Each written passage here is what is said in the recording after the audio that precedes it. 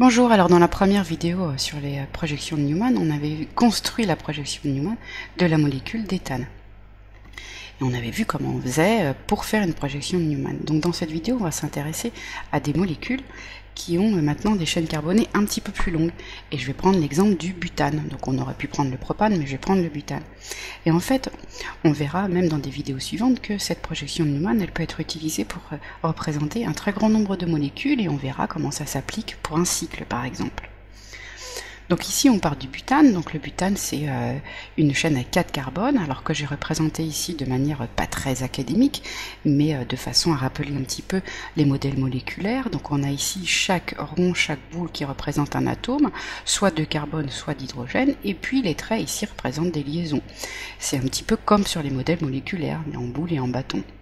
Pour faire une projection Newman, on l'a vu dans la vidéo précédente, il faut choisir un carbone de derrière et un carbone de devant. Donc ici j'ai mes 4 carbones, 1, 2, 3, 4, et je vais faire la projection de Newman.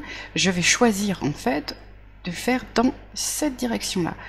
Donc le carbone ici que je vais mettre en bleu sera le carbone de devant. Et puis le carbone ici que je vais mettre en violet sera le carbone de derrière. Donc ici sur mon carbone de devant, eh bien je vais bien avoir les deux hydrogènes ici, et puis je vais avoir cette chose-là qui est tout simplement un groupement méthyle, et que je vais mettre cette fois-ci en rouge, et que je vais représenter simplement par un CH3. De la même façon, sur le carbone de derrière, eh bien je vais avoir les deux hydrogènes, et puis je vais avoir ce groupement ici que je vais représenter en vert, et qui est un autre CH3. Donc je vais représenter à nouveau en utilisant cette même représentation, hein, qui ressemble un petit peu au modèle moléculaire, les euh, deux carbones, le carbone de devant, donc en bleu ici, avec ces deux hydrogènes que je vais laisser en vert, et puis son groupement méthyle que je vais faire bien plus gros ici, parce qu'en fait, euh, c'est un groupement CH3 qui euh, comprend déjà 4 atomes, il y a un C et 3 H, donc il prend beaucoup de place dans l'espace, donc je vais faire une boule beaucoup plus grosse pour représenter ceci. Ensuite, j'ai ma liaison qui va aller vers le carbone de derrière, que je représente en violet. Donc voilà pour mon carbone, qui va porter ces deux hydrogènes, et puis qui va porter aussi, on a vu ici, un gros groupement méthyle que j'ai représenté en vert. Donc là aussi, hein, je fais une boule beaucoup plus grosse pour le groupement méthyle parce qu'il prend beaucoup de place dans l'espace. Donc je vais pouvoir faire ma représentation de Newman en plaçant mon œil ici et je vais regarder dans cette direction ici. Alors le premier carbone que je rencontre, c'est le carbone bleu. Donc je représente ici le carbone par un point. Et qu'est-ce que je vois Vers le haut, je vais avoir deux hydrogènes que j'ai mis en vert. Et vers le bas, en rouge, j'ai le groupement méthyle. Ensuite, je vais représenter mon carbone de derrière. Donc le carbone de derrière, ici, en violet, je le représente par un cercle. Et qu'est-ce que je vois derrière? Entre les deux hydrogènes ici, je vais voir le groupement méthyle CH3 que j'ai laissé en vert. Et de part et d'autre en bas, du, de la liaison ici avec le groupement méthyle CH3, je vais avoir les deux hydrogènes que je laisse en vert. Donc voilà pour la représentation de Newman de cette molécule. Donc dans cette représentation-là, on peut voir que les deux CH3 ici sont opposés l'un par rapport à l'autre. Eh bien, on appelle cette position-là en anti. Et comme dans la vidéo précédente, en fait, on parle de l'angle de torsion, et là, l'angle de torsion, il va être repéré par l'angle qu'il y a entre les deux liaisons ici, entre les carbones et le CH3. Donc on voit que ici, l'angle de torsion, il vaut 180 degrés. Alors pour faire d'autres représentations de Newman, eh bien on va dans un premier temps euh, faire pivoter un petit peu l'ensemble. Donc je vais faire pivoter ici le CH3, je vais le faire pivoter de 120 degrés. Et donc, qu'est-ce que je vais obtenir? Donc, je fais pivoter celui de derrière. Donc, celui de devant reste complètement identique à lui-même. Donc, j'ai toujours ici le carbone central de devant qui porte ces deux hydrogènes et qui porte son CH3 qui est vers le bas et qui n'a pas bougé. Et je peux représenter aussi en violet le carbone de derrière par son cercle. Je vais reproduire en fait cette base parce que comme je vais faire pivoter plusieurs fois, je vais faire des copier-coller de manière à représenter tout ça de manière plus rapide. Donc revenons ici à cette projection de Newman qui concerne en fait celle-ci avec le carbone de derrière qui a pivoté de 120 degrés.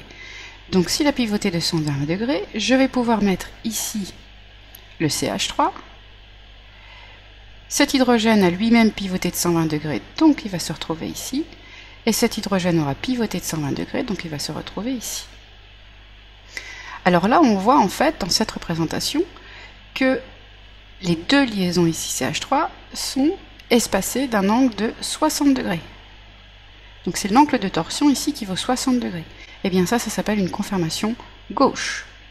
Maintenant, je vais faire à nouveau pivoter le carbone de derrière, et cette fois-ci, je vais le faire pivoter de simplement 60 degrés. Donc si je fais pivoter tout ça de 60 degrés, donc j'ai ce CH3 ici qui était ici vers la droite qui va se retrouver en bas, et il va être caché par le CH3 qu'on avait devant.